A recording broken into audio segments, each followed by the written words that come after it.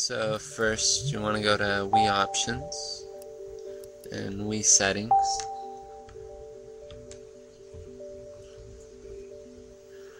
And as you can see, I have menu version 4.3. Then you can go over to Internet and console information. And that is your MAC address. You'll need that later. Okay, next you go to please.hackmii.com. There you'll find the letter bomb, which you select your system menu version, then type in your MAC address from earlier.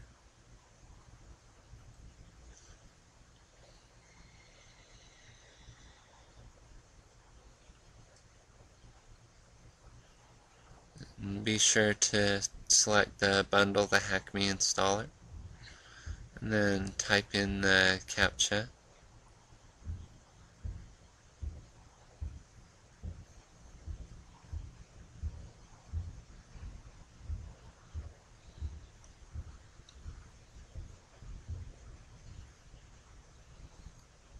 Then when you're done, you cut the red wire, and this will download the letter bomb.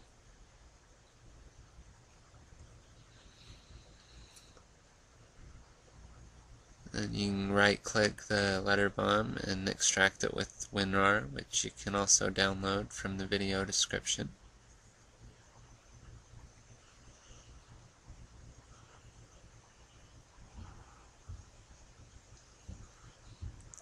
Alright, you can insert your SD card, then right click and format it.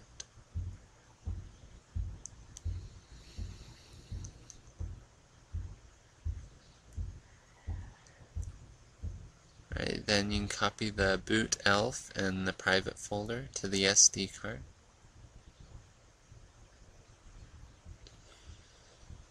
Right, you can remove the SD card and insert it into your Wii. Go back to the main menu. Then go to the Wii message board. Then click over to yesterday, and that is Letter there it goes.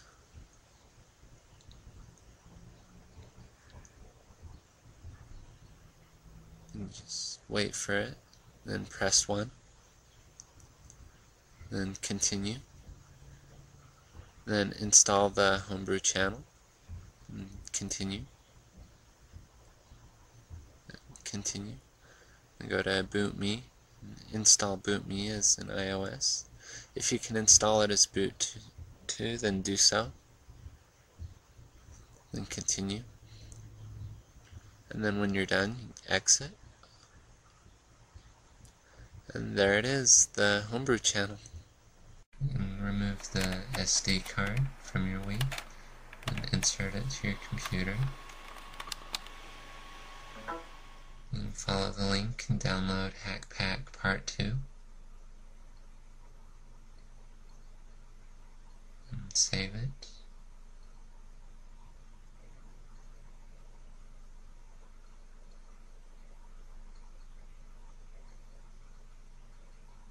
Alright. Right click and format your SD card again.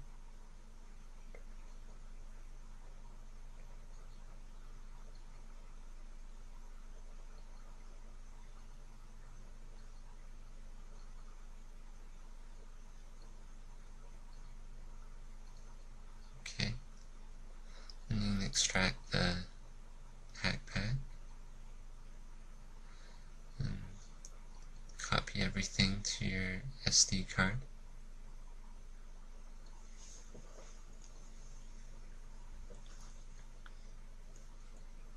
And then if you have an older Wii that can play DVDs, then you may want to download a Darkcorp.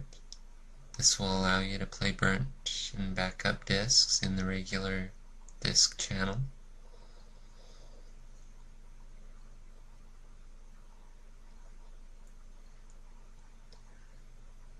just extract it and add it to the and copy the two folders to the SD card. And click yes.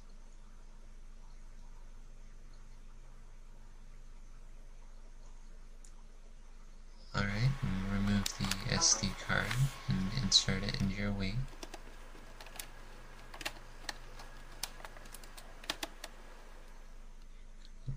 Home and launch BootMii.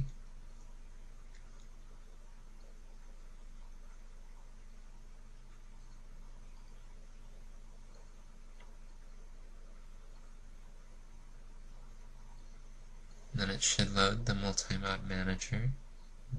Go down to the WAD manager. Press 1 and, and press A to install all the WADs.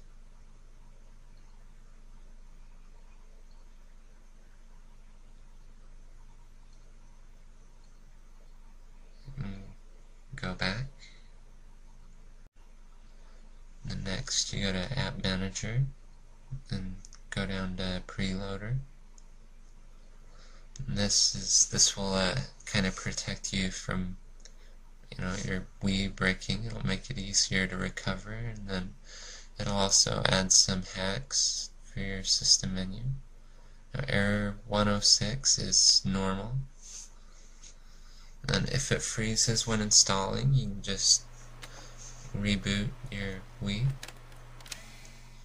And it should start right up. Then you can then you can hold reset and it should load right up to the preloader menu. You can go down to the system menu hacks. I'd recommend you block the disk updates and online updates. You can also set region free everything and be sure to save when you're done.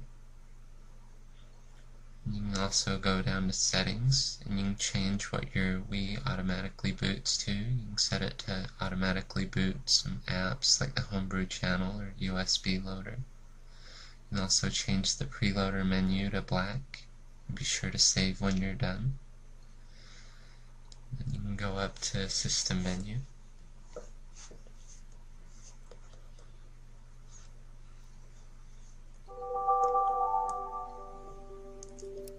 Go to Homebrew channel. And if you have one of the older Wii's and you want to play uh, burnt GameCube discs, you'll need to install the CMIOS and load.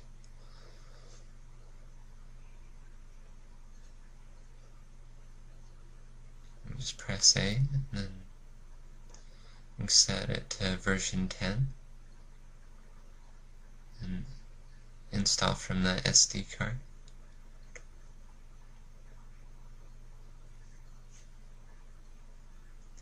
And then restart when it's done.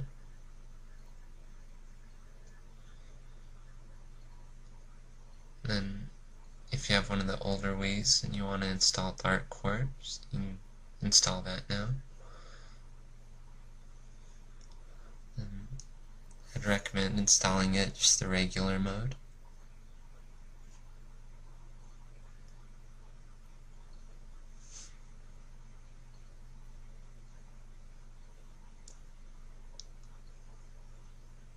Right, when it done when it's done it'll reboot your Wii. And you remove your SD card. And insert it in your computer. Alright, the final step, the app pack part 3. Download it and save it.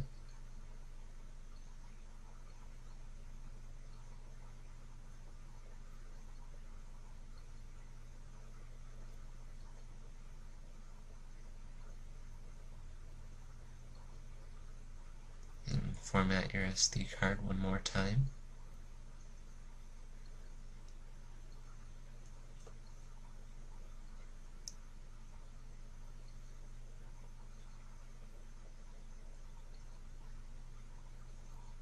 And then extract the app pack and copy everything to your SD card.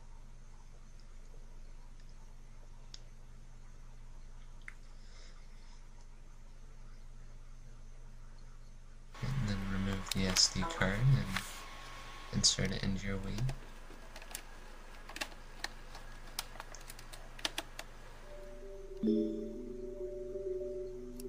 Load the homebrew channel.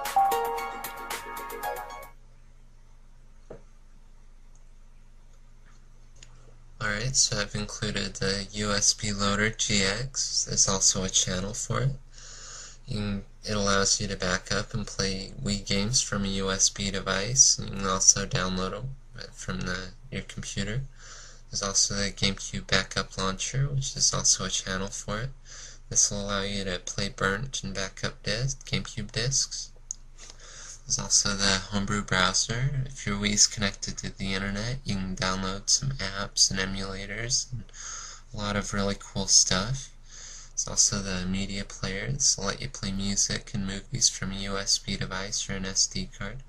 Or if you have an older Wii, you can play uh, DVD discs. And then finally, there's Neo Gamma. There's also a channel for it. This will let you play burnt backup Wii games from the discs.